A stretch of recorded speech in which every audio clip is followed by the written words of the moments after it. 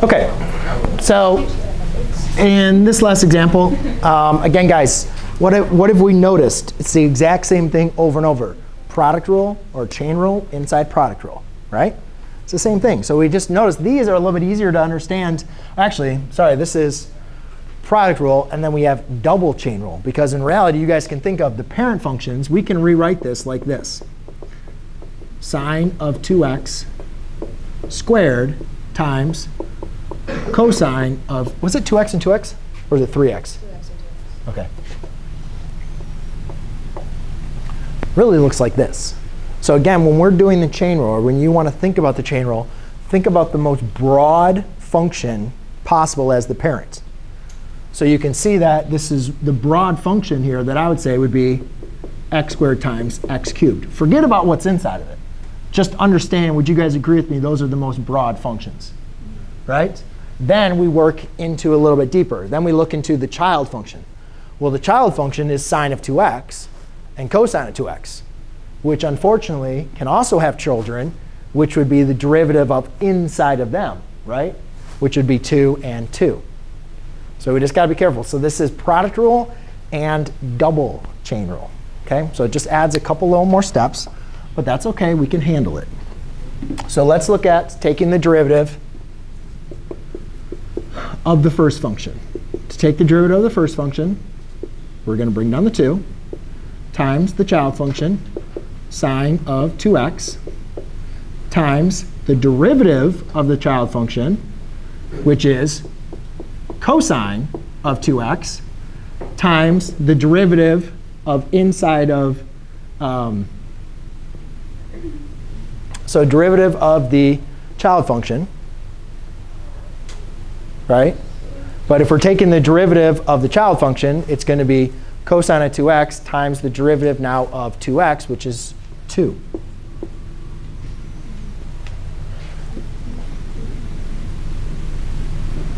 That is just the derivative of sine of 2x squared. Then the other one is fairly simple. Cosine of 2x uh, cubed plus we'll have sine of 2x squared. And then here, we're going to do the same thing like we did over there. Again, I'm just going to really focus on parentheses. So in this one, we're going to bring down the 3. I'm just going to put it in parentheses times the inside function, cosine of 2x, times um, cosine of 2x, sorry, squared, right? Because we, this one, we had 1. It was really a 1 up there. Here, we're going to have squared, and then times the derivative of this, which is going to be a negative sine of 2x, times the derivative of inside of that, which is 2.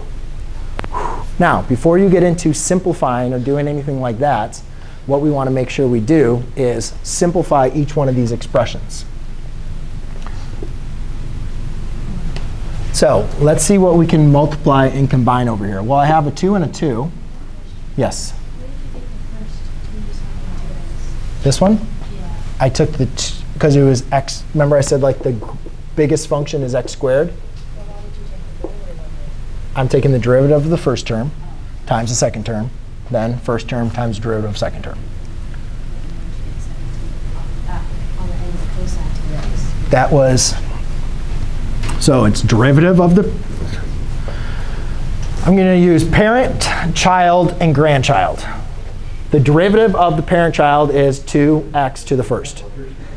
Child function is inside there. Derivative of the child function is cosine of 2x. The derivative of the child function is the grandchild, which is 2. It's double chain rule. You have to do chain rule twice. It is. And it's confusing, and it takes a little practice. OK?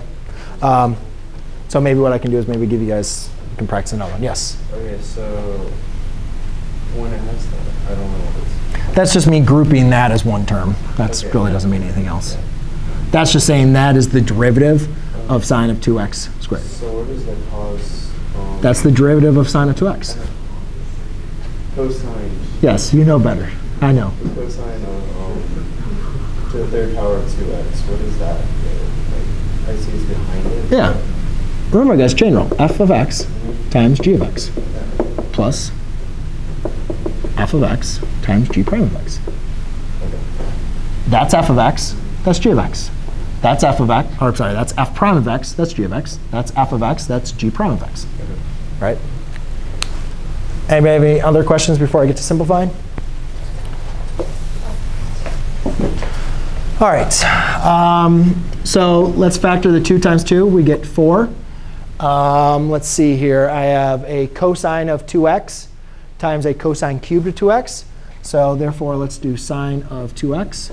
And then I can multiply that to give me cosine of 2x to the, let's use parentheses, fourth power. Right? That's a cosine of 2x. That's a cosine cubed of 2x. Cubed times 1 would be cosine of 4x. Plus, let's see, we have a 2 and a 3, and we have a negative. So that's going to be a negative 6. I'm just going to put that in parentheses first. I'll change that to a subtraction.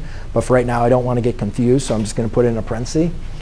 Uh, let's do sine squared of 2x times sine of 2x is going to be a sine cubed of 2x. Why is that 6? Because you have that negative sign. So in reality, that's really like a negative, right? A negative 1 right there, right? So therefore, the negative times 2 times 3 gives me that. And then I have a cosine squared. All right, so now we have all that information. Now let's factor out what we can factor out. So we notice we have a sine of 2x in both of them. And we also can share out a common 2. So I'm going to factor out a 2. That's the largest of my two numbers, 4 and negative 6. I can factor out a sine of 2x. And I can factor out a cosine. Looks like the highest power I can factor out is a cosine squared. So now I'm left with a 2, because when I factor out a 2 there, left with a 2. Sine of 2x, factor that out. When I factor out a cosine squared, that's going to leave me with a 2. So I'll say cosine of 2x squared. Um, when I factor out a 2 out of this, I get a negative 3. So I'll just write minus 3. When I factor out a sine of 2x from there, that's going to turn into a squared. So that'd be a sine squared of 2x. And then I factored out a cosine of 2x. So therefore, that just gets eliminated. Yes. OK. I know it's a lot to internalize, right?